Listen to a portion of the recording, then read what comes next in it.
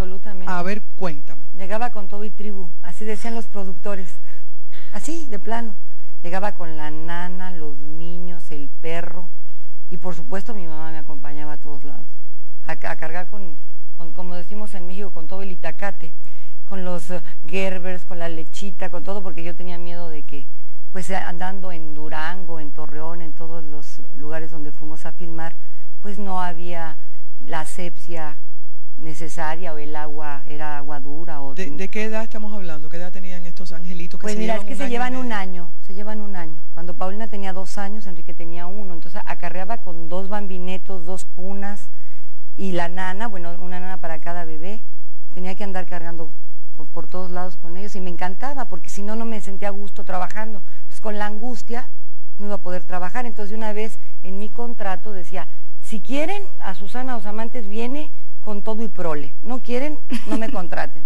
Porque en una ocasión un productor me dijo, oye, si te contratamos a ti, no a toda tu tribu. Le dije, ¿a usted quiere contratarme a mí solita? dice, hombre, pues, ¿cómo lo siento? Porque yo tengo premio. Yo vengo por lo mismo precio, venimos todos. Todos. ¿Alguna vez ellos actuaron en alguna de las películas que tú estabas? Pues sí, ya como estaban allí y eran gratis, siempre Pero de actuaban. De no era, extra no porque era un papel gratis. importante. No, ay, qué horror. Mamá, mamá, ahí está. Ahí estoy, ahí estoy. Nunca nos veíamos. Solo en el cine. No, sí, Eh, algunas ¿Cuál, fue, veces ¿Cuál sí. fue la anécdota de la nana que tú llegaste? Ah, de tú la decías nana. que tú veías, déjame parar Enrique, pero nada más que para que lo veas, que no le gusta hablar mucho. Es que no quiere. Arriba, este, este es el de un año de diferencia. ¿Quién es mayor, ella o tú? Ella es mayor. No es un cierto. año y medio. Ay, sí. Mm. Ella es la vieja. ¿Te ha dado, ella es la vieja. ¿Te ha dado buenos ejemplos o no? Sí. Digo, digamos que de pequeño me enseñó pues todas las cosas que yo no podía saber. Y me dijo que este no existían algunas cosas ahí. Santa Claus. Santa Claus. entonces, Mentirosa. este Pero sí todo ese existe. tipo de cosas siempre pues ella siempre ve- y como iba en un año más adelante que yo y todo Te- lo pues, siempre me defendía. enseñaba. Siempre me, lo me defendía, defendía. me defendía cuando era ¿Es verdad que los ponían juntos en todas las clases de karate, de natación, lo que fuera, iban los dos, los dos, los dos? Sí, a todo íbamos juntos siempre. Desde karate hasta Natación. no matemáticas y Todo. todo, ese tipo de cosas. ¿Por qué las desgreñadas? ¿Por qué se peleaban? Pues yo que era por la edad, ¿no? Y porque además siempre Paulina me pegaba a mí porque yo no le podía pegar a ella porque a mí siempre me habían dicho que, que a la mujer no se le tocaba ni con el pétalo de una rosa. Entonces yo era como sufrido y entonces me hacía así y ella me pegaba, ¿no? Y yo no le podía Pero un pegar. día, un día se fue a Suiza y me regresó del tamaño que lo ves. Y yo le doy aquí, entonces ya no le puedo pegar. Ya, ya, ya no. Cuando tú dejabas a tus niños solos con una nana, tengo entendido de que tú veías que este se ponía más gordito, más y más gordito, gordito, y aquella se ponía flaquita y flaquita. ¿Y, qué es lo que, es. y entonces un día te pasó qué? ¿Cómo descubriste? Bueno, yo tenía llamado, lo que llamamos llamado, tenía que ir a trabajar a una telenovela y llegando al estudio me di cuenta que no traía el vestido de secuencia. Entonces, sin avisar, regresé volada a mi casa y entré por la puerta del servicio. O sea que la muchacha no sabía que yo iba a entrar. Cuando entro por la puerta de servicio, yo vivía en un noveno piso y veo en la terraza y tiene a mi hija agarrado de los pies así y le decía, güerita, güerita quiere decir rubia, me chocan los güeritos, cállate la boca muchacha, es- escudriñada, flaca, tuberculosa, horrorosa, me chocan los rubitos, me chocan los güeritos, y la tenía así, la niña volteando para abajo así, y este, así. Bueno, pero come, yo no sabía come. hablar porque yo, yo no me acuerdo de eso. Yo creo que tengo un... Bueno, que tenía dos años y este uno, no ¿Te hablaban. Este no se acuerda unos de nada. babies, eran unos bebés. Eran unos bebecitos. Yo me acuerdo de lo que me cuenta mi papá y lo que me cuenta mi mamá. ¿Y pero- qué hiciste con esa mujer? Pues me quedé muda hasta que bajó a la niña porque yo dije, le grito y la suelta, ¿no? Entonces me tuve que esperar a que la terminara de jalonear, así como, como si fuera un trapeador.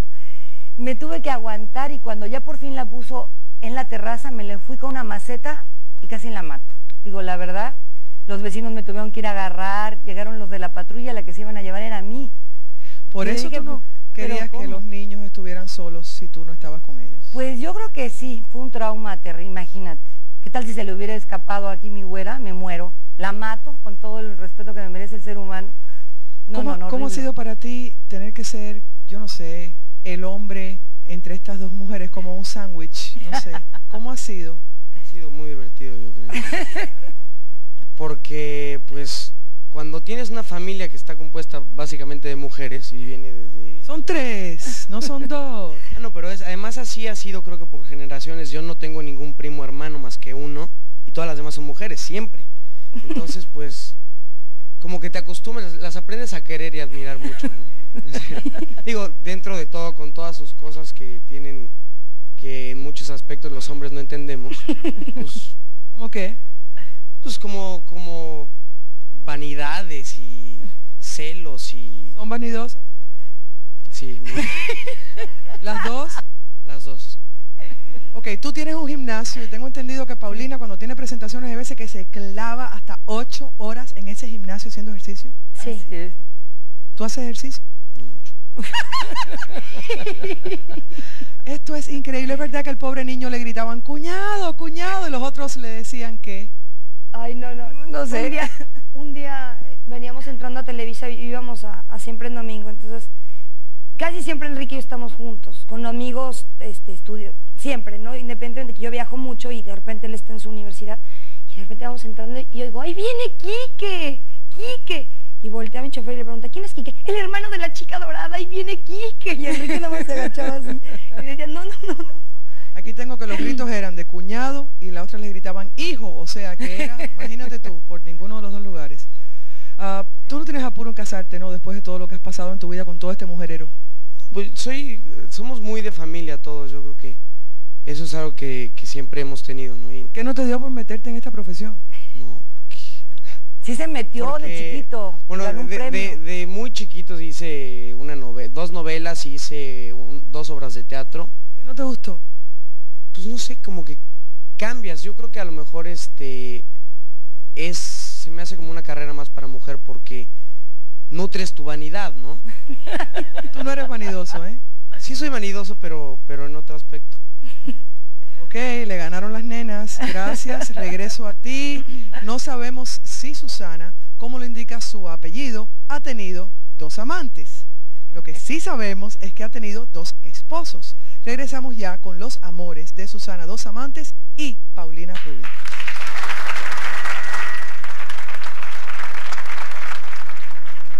gran constructor de mentiras.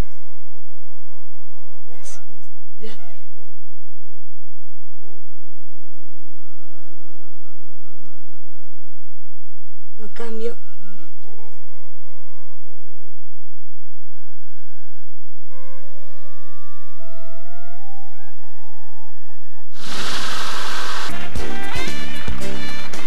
Susana, dos amantes y Paulina Rubio se encuentran con nosotros hoy en nuestros estudios en Miami.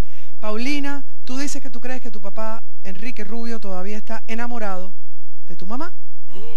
Definitivamente. Cuéntame por qué. Pásanos el chisme. Porque se ve.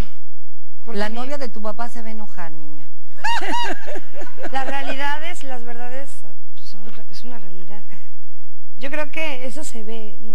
A- aparte de que conozco como la palma de mi mano a mi papá, se le ven los ojos. Vamos, o sea, en los, en los cumpleaños, en Navidad, en Año Nuevo, en las graduaciones, en los shows importantes, en todas las cosas de familia, siempre están los dos.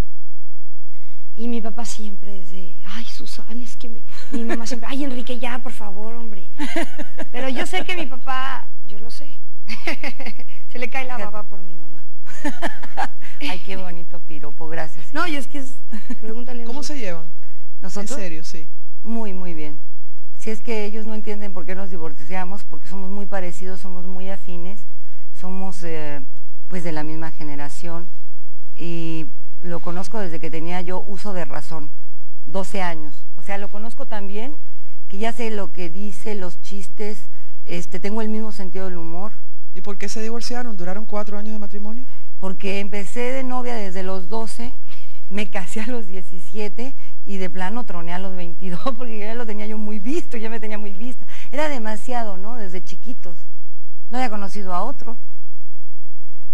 Además es difícil llevar la carrera de actriz y casarse. Es muy difícil que un hombre latino o hispano entiendan que uno es actriz y que va a ir uno a hacer Calimán a Egipto, ¿verdad? Y que se va uno... En la luna de miel me llevaron a, a Río Lobo, a Tucson, Arizona, with all the gringos there.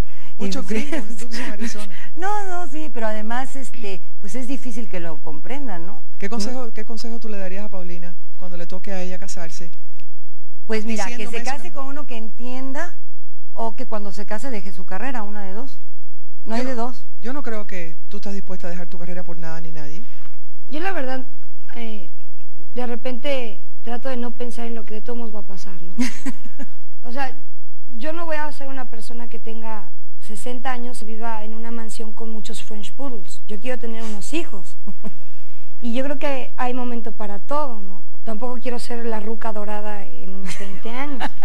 O sea, yo creo que ahorita es el momento de hacer lo que me gusta. Y en un futuro, eh, pues poner las cartas sobre la mesa y decir qué es lo que quiero hacer para, para, para toda mi vida, ¿no? Esto de la chica dorada viene, es una imagen, no solamente un color de cabello. Por cierto, ¿ese es tu color natural? No, me hago highlights y me asoleo muchísimo. Sunning, bueno, una cosa para aclararte el pelo. Ok, eso te lo pregunté yo para que no te lo pregunten ellos porque bueno. ya me No, ay, a mí no me "Será, será, será, importa. será". Ah, yo les voy a enseñar una foto de cuando era recién nacida No, para desde que niña vean. tenía el pelo blanco, blanco, blanco y fui creciendo y se me fue poniendo más castaño oscuro. Lo tengo castaño claro oscuro, pero me hago muchos highlights y me hago todo. Déjate cuento una anécdota. Era tan rubia, tan rubia cuando estaba recién nacida que cuando me la fueron a entregar al cuarto, yo le dije, oiga, ¿está usted seguro que esta es mía? No me quiero encariñar y que luego me digan que no es mía, porque está muy rubia. Seguro que no se equivocó y le veía yo el collarcito y le veía aquí por acá el lunarcito a ver si era, si, si era mía. Las, do- las Sí. dos tienen un lunarcito aquí. Un un poquito más para allá. Ah. Esto de la chica dorada eh, es mucho más que un color, es mucho más que un color de cabello. ¿Qué significa esta imagen para ti y por qué te quedaste con ella después de que te bautizaron la chica dorada? ¿Por qué seguiste con eso? Mm, yo quería, estuve tanto tiempo en Timbiriche que para mí era muy difícil de tomar la decisión, el dejar a mis hermanos, porque eran como mis hermanos, y, y probar suerte yo sola. Eso por un lado, y por otro lado yo quería ser original, quería ser diferente, quería tener una imagen totalmente eh, otro rollo a lo que existía. Quería que las niñas, la gente que le gusta mi música, se identificara conmigo como imagen y, dentro de lo que incluye mis discos, las letras de mis canciones, conocieran a Paulina humano, o sea, que me da gripa, que de repente me hace daño el cariño o el amor de alguien, o que de repente me encanta cantarle a la contaminación, a la vida, al amor, a todo esto. Entonces, la verdad es que me ha funcionado mucho porque a mí no me gustan las réplicas o las copias de, de otras cosas, ¿no? Porque se me hace aburrido. Entonces, yo ¿No se te quería... hace aburrido tenerte que vestir de dorado el resto de tu vida? Artística. No, no, porque no nada más ha sido la ropa. A veces yo de repente salgo de rojo, ¿me entiendes? Me ¿Qué es lo que es dorado para ti?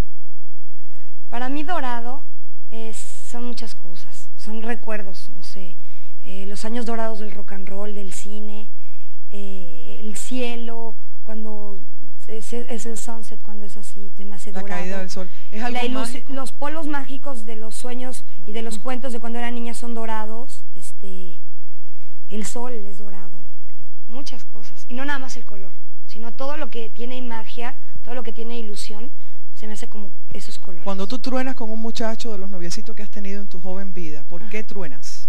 ¿Qué te pasa a ti? Ya tu mamá dijo "Es que es difícil ser actriz, para mí era muy duro, Cristina. ¿Qué te pasa a ti? ¿Por qué no has encontrado el muchacho de tu vida? Bueno, para empezar no soy muy noviera. Lo que pasa es que he tenido muy poquitos, pero soy de mucho largo tiempo. Pero sustanciosos. Porque, no sé, eh, yo no soy dejada. O sea, yo creo que cuando una persona quiere a alguien, antes que nada te tiene que respetar, te tiene que querer por lo que eres, no por lo que representas. Y cuando hay un amor, no tienes por qué estar con otra persona. Yo no aguanto la infidelidad, ni la mentira, ni el que me quieran así presionar. Y tú Vámonos, tampoco. Vámonos. pues más o menos. Salió a ti. Bueno, yo creo que ella tiene su propia personalidad, pero creo absolutamente que la madre influye mucho en los hijos. Que con todo el respeto a los caballeros, pero el eje de una familia es la mamá. Digo, el señor tiene que salir a la calle, trabajar, y la que está todo el día ahí, o casi la mayor parte, es la mamá. Lógicamente los niños absorben todo de uno, ¿no? Pienso. ¿Tú te quieres volver a casar, Susana? Bueno, una kermés. Ay, no, no, sí, a lo mejor sí. Nunca falta un roto para un descosido. ¿Están saliendo alguna de las dos con alguien en este momento que pinte bien la cosa? No. Ay, sí. No, ¿eh? O sea que si alguien puede llegar antes de media hora. Ay, sí. Ok, ah, quiero decir antes de cerrar este segmento que Paulina está grabando en Miami, está grabando su disco en Miami. Ajá. Eh, quiero decir que Susana tiene cuatro sobrinos cubanitos, me dijo. Sí, mis que, cubanitos. que de ellos tenemos que hablar. Y que tú empiezas tu película en 15 días y de eso tenemos que hablar. Como ya yo estoy menopáusica, así que el próximo segmento ustedes me recuerdan todo esto y continuamos la marcha.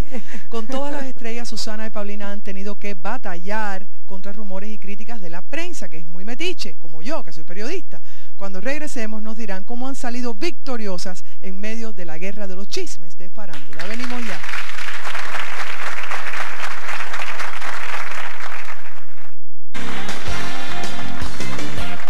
Estamos con Susana Dos Amantes y con su hija Paulina Rubio, la chica dorada, y en este segmento es cuando le damos el frente a los rumores de la prensa.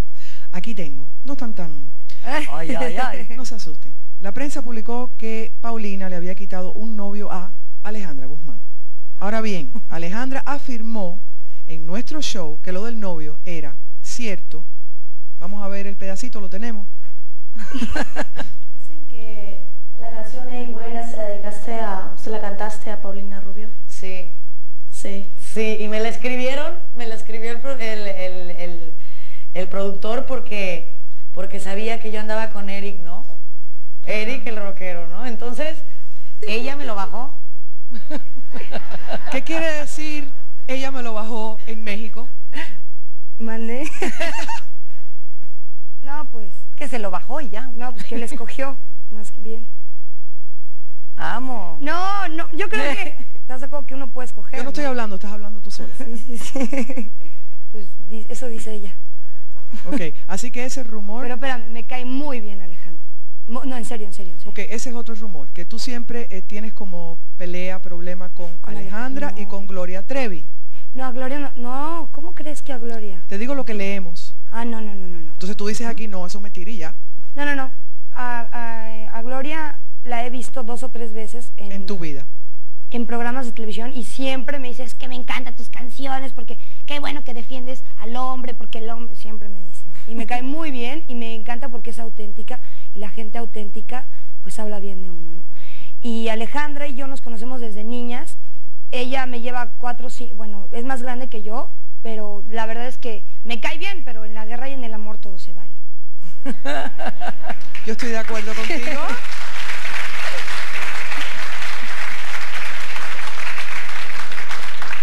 Ok, también eh, leí que habías tenido problemas con Talía Eso sí es cierto. cuando eran niñas en Timbiriche, pero Sí. que de grandes no. Cuéntame. Eso, es- eso sí es cierto. Uno tiene que ser honesta y la verdad es que Talía y yo tuvimos un pro- problemilla cuando éramos muy niñas. Yo creo que cuando creces y te acuerdas de todas las cosas que hacías de niña te ríes, ¿no? Yo le pegaba a Enrique, ahorita se para y me saca tres cabezas, y, pero no, no le hago ni así, ¿no? Y, y Talía y yo fuimos muy buenas amigas, luego nos peleamos, teníamos 12, 13 años, y luego nos volvimos a contentar, y luego la prensa siempre nos está poniendo en contra una de la otra. Pero yo creo que lo más importante es tener tus valores y saber que eres una persona pública y que la gente que lee las revistas sepa que hay veces que son muy mentirosas las cosas que se dicen. Ojalá yo ya me hubiera comprado una isla, pero todavía no me alcanza. Y, y hay veces que sí es cierto, pero de todo hay que dudar siempre un poquito. A mí en ningún sitio me han preguntado, excepto en México, que cuánto gano. O sea que la prensa en México te pregunta las cosas a rajatabla. ¿Cuánto gana usted, señora Saralegui? Eso a mí nunca me lo han preguntado en ningún otro sitio. ¿Qué es lo que más te ha dolido a ti que te han hecho en la prensa en toda tu carrera? O sea, de todas las cosas que han salido, lo que más tú has dicho, bueno, y ya no. Bueno, cuando me agarraron de encargo con el divorcio ya me tenían asoleada, ya me daba vergüenza, hija, encontraba el elevador y me decía, ¿cómo sentí? Yo decía, ay, ay, pero es que ya pasó hace mucho, a mí hasta se me olvidó, y esta sigue en la necia, yo ya ni me acuerdo. Pero hay veces que siguen publicando, publicando cosas que tú ya ni te acuerdas. O sea que te seguían el público dándote el pésame con tu segundo divorcio cuando ya tú... No, pues yo ya hasta se me había olvidado el galán, oye, pues, por favor. Pero hay veces que la gente se queda en la idea de lo que lee. Y hay veces que a ti ya se te olvidó, pero la gente te recuerda lo que está leyendo ahorita, ¿no? O a lo mejor no tenían una noticia más fresca y me publicaban cosas de hace dos años, por favor. Tú tienes una cadena de tiendas. Sí. Publicaron también que la cadena de tiendas le iba mal y dice tu Ah. hija que casi le dio un infarto a la mamá cuando le dio aquello de Sevilla. ¿De dónde sacaron esta información? Claro. Bueno, eso sí también me molestó, pero yo creo que hay veces que o la gente no corrobora las noticias o con tal de, de vender, vender eh, las revistas, te inventan cada rollo monstruoso, ¿no? Porque la forma amarillista es la forma más eh, sencilla de atraer al público. Pero creo que tiene que haber una ética en el periodismo y que en primer lugar tienen que corroborar la noticia. Porque si no, de verdad te pueden matar a tu mamá de un infarto, a tu abuelita, o inventarte un chisme que pueda lesionar a tus hijos. En lo personal, esa noticia me afectó mucho en los negocios porque todo el mundo decía, oye, ¿y entonces las tiendas que tienes, ¿de quién son? Le digo, pues son mías. No, pues dice la prensa que no. Yo dije, bueno, la prensa está mal informada. Y posteriormente fueron, sacaron todas las fotos, ya sabes, y este, pues todo el mundo conoció que, era, que eran reales y ya no hubo ningún problema, pero palo dado ni Dios lo quita. Todavía, todavía a veces te siguen preguntando lo otro que vieron, ¿no? O sea que ya eso quedó aclarado aquí y eso no te lo van a preguntar. Lo aclararon en la misma revista. Ok. De tus negocios, del gimnasio, de las tiendas, ¿cuál te gusta más y cuál, con cuál te va mejor? Me va mejor con la ropa porque es más fácil vestirse que ir a, a sudar la gota gorda en el ejercicio, ¿no? Evidentemente. Sin embargo, en, en lo personal a mí me divierte más el gimnasio. ¿Tú eres de ir al gimnasio y hacer Yo sí, ejercicio? sí. ¿Cuántas veces a la semana? Bueno, ahora no, no diario, porque yo también era de las que iba a tres horas diarias y me agarró la obsesión y yo creo que ni tanto que queme al santo, ni tanto que no lo alumbre, Sí, ¿verdad? señor. Porque digo, tampoco es obsesión. Sin embargo, creo que es importante hacerlo cuando menos 15 minutos diarios. Ujú. Aunque sea un ratito, aunque sea caminar rapidito, pero sí es ¿Con 15 importante. minutos basta, Susana? Yo creo que sí. Más vale 15 minutos que nada. ¿Tú te cuidas la boca cuando comes? Sí. Yo ¿Y soy tú? bien No, yo tragona. sí. Pero yo tengo un problema. Lo que más amo en, este vi- en esta vida es comer. Entonces por eso, cuando, cuando ¿Qué, como qué mucho... qué edad era que tú tenías? Ahorita. Por... Ay. ¿Tú Ay, sabes no te- por qué? ¿Qué? Porque por eso lo que más amas es comer. Deja que veas el resto que te que falta. que- No, cuando como mucho, hago mucho ejercicio. Ajá. Y cuando como mucho y no hago ejercicio, me pongo a dieta. Porque si no, no tengo a dónde quemar todo eso. ¿no? Bueno. A mí me encanta comer, la verdad, me encanta. ¿Te gusta cocinar también? Cocino muy bien, Muy. palabra de honor. ¿Y tú también? No tan bien como ella, pero también tengo lo mío. Esta niña es casadera, casadera, casadera. Sí, tiene buenos Susana Dos Amantes y Paulina tienen muchos planes para el futuro y sobre estos planes vamos a hablar cuando regresemos en un momentito.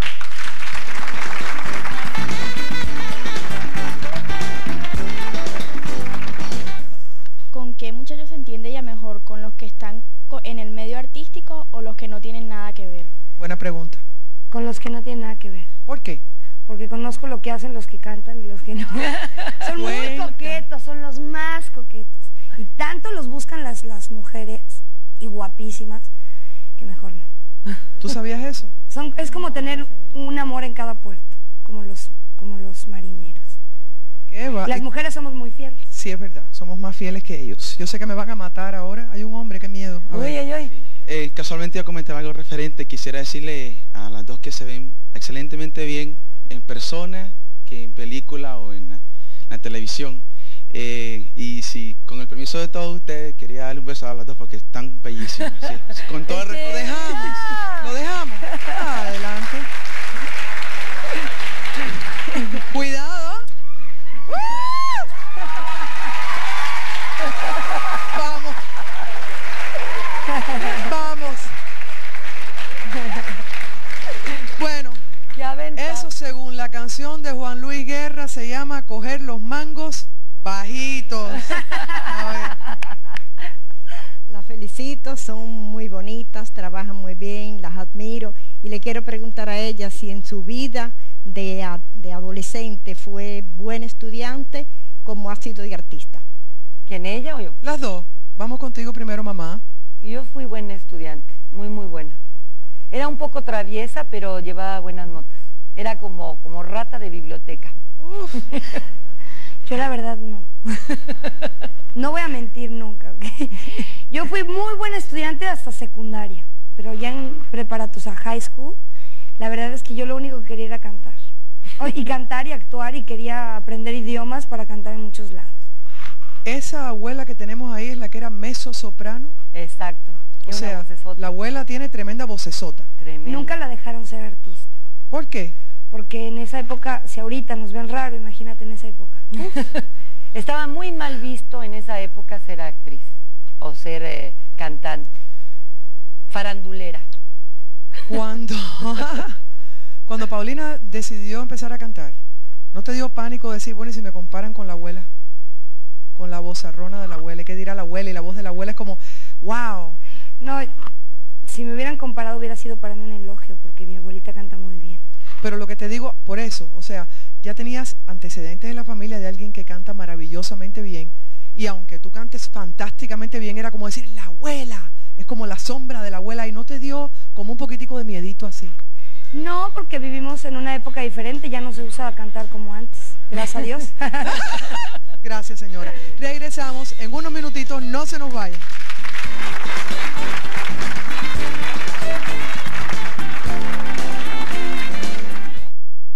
Le quería preguntar que si Eric Rubin fue el amor de su vida. No, No, para nada. porque en las revistas lo dice. No, no, pero en las revistas ya te dije. Mi amor, no les hagas caso a todo. No, realmente Eric eh, ahorita es muy amigo mío, toda la vida fue muy amigo mío y confundimos la amistad con mucho amor. Y llegó el momento que dijimos, ¿sabes qué? Mejor vamos a seguir siendo los mejores amigos de la vida a dejar las cosas así inconclusas. Está bueno eso. A ver, ¿quién era la que quería? ¿La otra valiente? Bueno, primero que todo les quisiera hacer un comentario. Me encantan todas tus canciones. Todos los adolescentes de este tiempo nos ide- Identificamos. identificamos con tus canciones y te quería felicitar. Y a, y a ti también, porque tienes una hija muy linda. Gracias, qué linda. Gracias.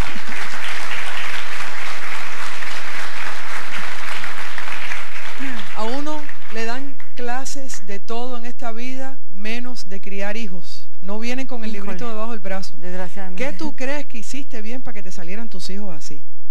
Danos un consejo a Yo te lo voy a decir. A ver, Vámonos. a ver. Yo creo que mi mamá, este, antes de ser la mujer guapísima que tú ves, antes de, de ser eh, señora de negocios, actriz, modelo, porque siempre lo ha sido también, siempre antes que cualquier cosa, siempre ha cargado con sus hijos a todos lados desde que nací. Siempre. Gracias. All right. Me vas a hacer llorar. Llora, llora. Hay Kleenex, tranquilo. mamá es muy cursi. de Rivet. Primero me da el piropo y luego me dice cursi. Esos son amores que matan a palos. A ver. Es obvio que son preciosas las dos. Gracias. En vista de eso, ¿por qué odian decir su edad? Si la dicen, lo más que vamos a hacer es imitarlas, hacer lo que ustedes hacen para ver si también nosotras nos toca un poquito de esa belleza. No, yo nunca me quito la edad porque sería ridículo. No Si Paulina sea tiene veintitantos años, ni modo de que la haya tenido a los 10, ¿verdad? No, no, yo soy cuarentona a mucha honra. Prefiero que digan, oye, qué bien conservada estás, a que digan, oye, qué amolada te ves. No, ¿Ok? Además que ya dijeron, buena comida y mucho ejercicio. Son los secretos de estas dos señoras preciosas. Regresamos enseguida. Si quiere compartir con Cristina, escríbanos.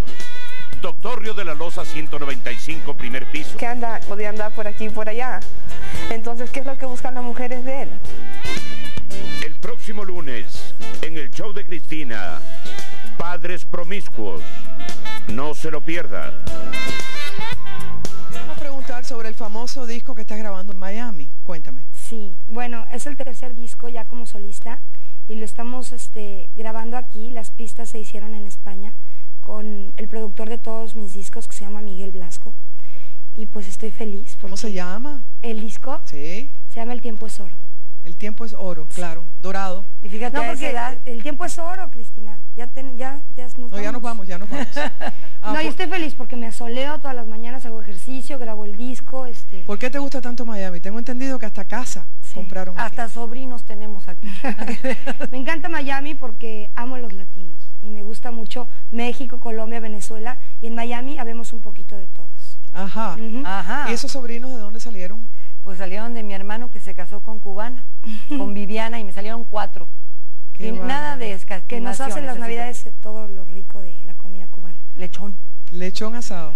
¿Tu, ah, ¿Tu película que empiezas en 15 días? ¿Noticias de eso? Eh, empiezo mi película en 15 días, es una producción de Televisa a cargo de Cristian Bag y Humberto Zurita que están produciendo ya cine y es mi primer protagónico en cine, estoy muy contenta y se llama Bésame la boca la película. Bésame la boca. Sí.